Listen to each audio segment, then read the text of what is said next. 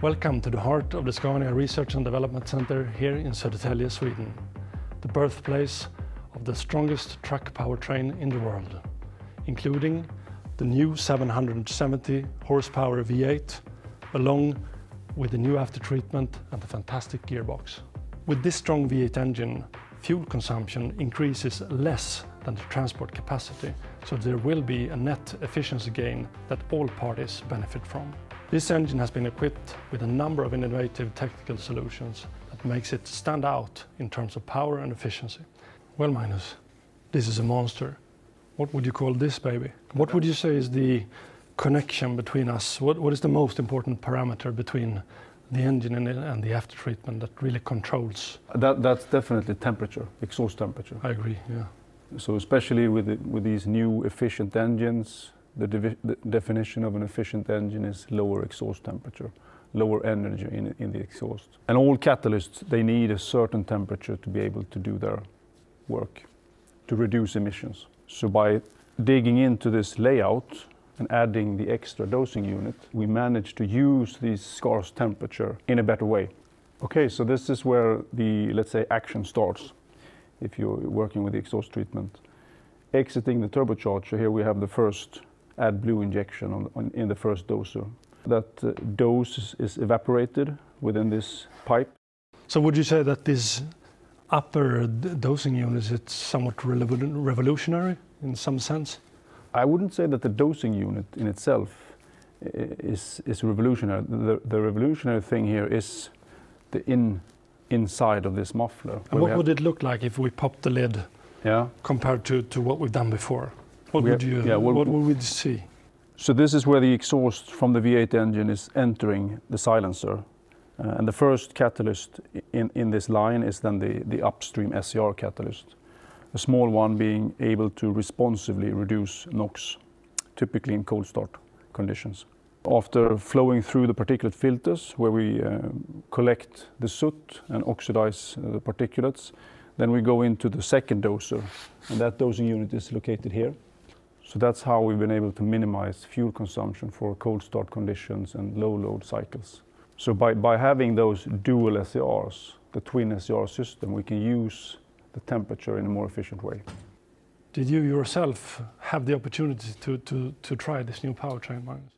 Yes, uh, in multiple uh, climate tests, both in southern Spain and in, in, in the northern part of, parts of Sweden. Uh, I've been privileged enough to, to, to, to test drive the 770. What, what would you say the, the characteristics of the 770 in the hills of, of southern Spain? Yeah, I'm an exhaust treatment guy, so I'm focusing on this box and I'm measuring emissions with a, with an with a PEMS equipment.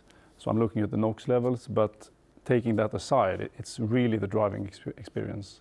And you can really feel a difference. You have the sound, and then you also have this feeling of being, let's say, pushed up the hills rather than pulled in a, perhaps a smaller engine. So that, that's uh, something I, that's the best way I can describe it. One thing you notice is the really nice characteristic V8 sound from the 770. I'm, I'm, I'm glad you noticed it, Magnus. It's one of the trademarks of Scania V8s, is the sound. We made changes to the exhaust manifolds, which even further enhanced the, the sound picture of the Scania V8, which stands out. Uh, and I'm happy to say that even though we carry the after treatment, even though it is like a chemical factory cleaning the exhausts, we still maintain the sound picture for the full truck, which we are very proud of. So with the 770, you're, you're not only faster up the hill, you're, you're also doing it in a, with a nice sound, let's say. Absolutely, absolutely. It's the best. Okay, Göran, the powertrain starts with the engine and it ends with the exhaust treatment system. But that's not the whole story, is it? You're right, Magnus. Actually, for most of Scania's V8 customers, this is only half of the extraordinary driving experience. Uh-huh. Right, guys? Yeah, that's completely right. Already today, the 660, the 590, and the 530 versions of the new V8 engines will be combined with this new unique Scania gearbox. So let's have a closer look at it and see how it performs for our customers. Yeah. Here at Scania Research and Development, we always work at the technological forefront.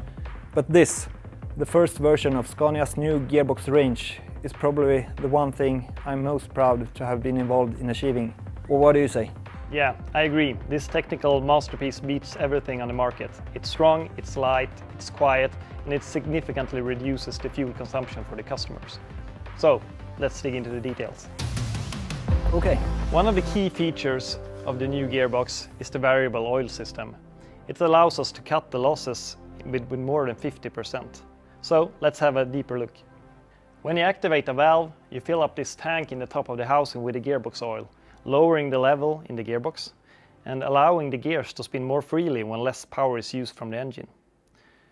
By turning the valve off again, the oil quickly pours back into the gearbox, increasing the cooling when the power is increased again. All right, and this spray pipe we have always sprays oil on the gears, assuring that we always have enough oil for lubrication and cooling in all driving situations. And together with the low viscosity oil and the improved gear shape, uh, this allows us to cut the gearbox losses in half. To achieve this low rev philosophy by using faster rear axle ratios to lower the engine speed and thereby the fuel consumption, but without sacrificing the startability, we have designed the gearbox with a large total spread. Okay. And to be able to perform a gentle start with a heavy load in a steep hill, we have designed the crawler gear with a very slow gear ratio and what about the cruising gears? We have equipped the gearbox with two cruising gears, one direct drive gear and one overdrive gear. And based on the current driving situations, the gearbox management system is able to calculate what's the most efficient driving gear for the moment. But what about the one of the most important gear, the reverse gears?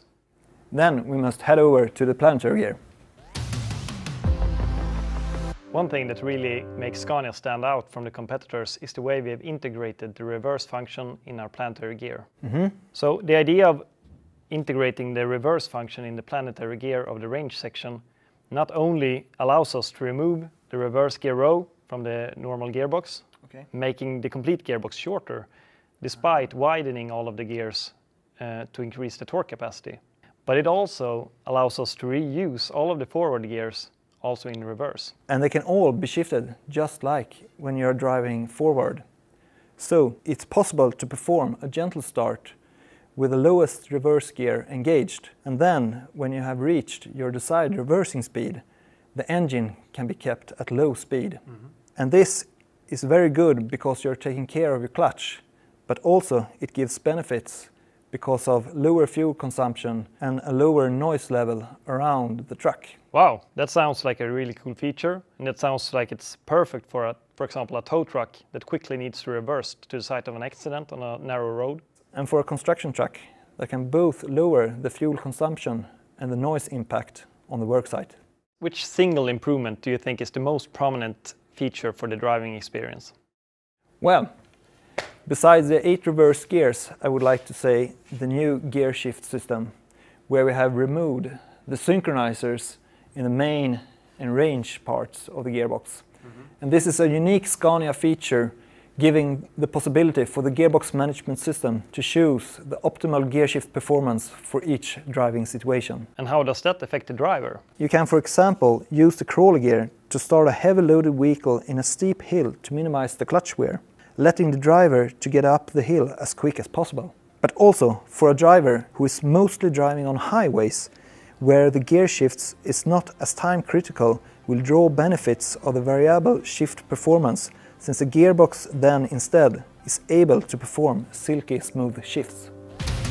Alright, however, uh, the greatest benefits of the new gearboxes is when we combine the engine, the gearbox and the rear axle ratios in the right way to provide increased startability and significant fuel savings for the customer. We have been able to achieve that because here at Scania we develop everything in-house at the same place and together we have shown that it's possible to reach a power and torque level far exceeding everything else on the market. Amen to that.